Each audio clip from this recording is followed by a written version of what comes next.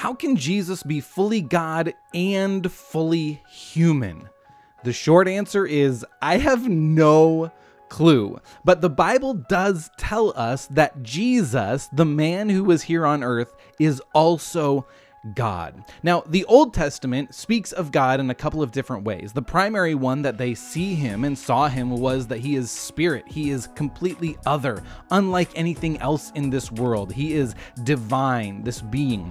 But throughout the Old Testament, there is also this secondary person of God called the one like the Son of Man. And this is throughout the Bible. And before Jesus showed up on the scene, this was actually the way that the Israelites believed in, taught, and talked about God is that he is one God, monotheistic, in two persons or two powers spirit and one like the Son of Man. The New Testament consistently refers to Jesus as God in the flesh, Emmanuel, God with us. Paul says that he is the complete manifestation of God. John tells us that he is from the beginning, before time. He made all things. This is Jesus. And Jesus' favorite way to identify himself was to use that Old Testament phrase, one like the Son of Man. He identified himself in the third person as the Son of Man. And yet,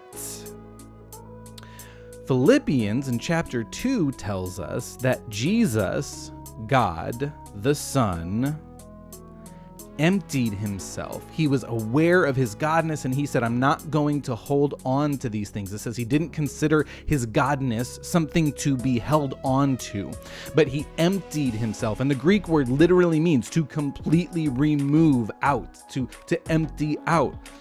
Jesus, God the Son, this second person, this second power of God, emptied himself of his rights, privilege, and position as God. He didn't stop being God, but he restricted himself to the limitations of a person so that he could save people.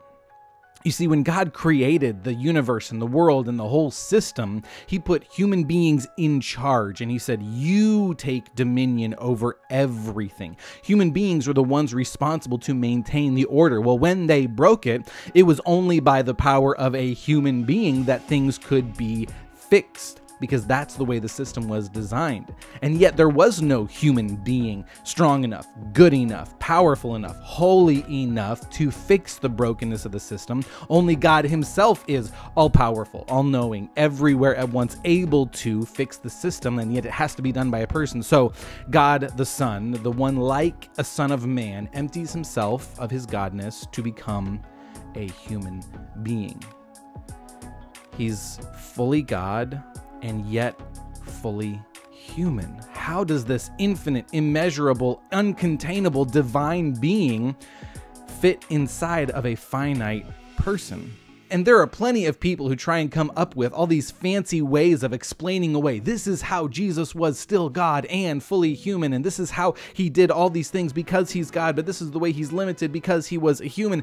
And we can try and come up with all these fancy ways of explaining God, but in the end, if we're able to reduce him down to some philosophical, logical argument or some scientific experiment, because then we too would be God and human. But Jesus Jesus himself seems to be the only one who is fully both.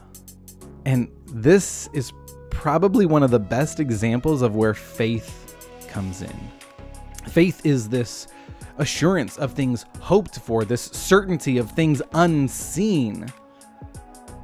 And and when we get to the point where we kind of have to admit like I don't get how it works, but I believe that it does, this isn't necessarily a bad place to find ourselves when we, especially when we ask the question, how can Jesus be fully God and fully human?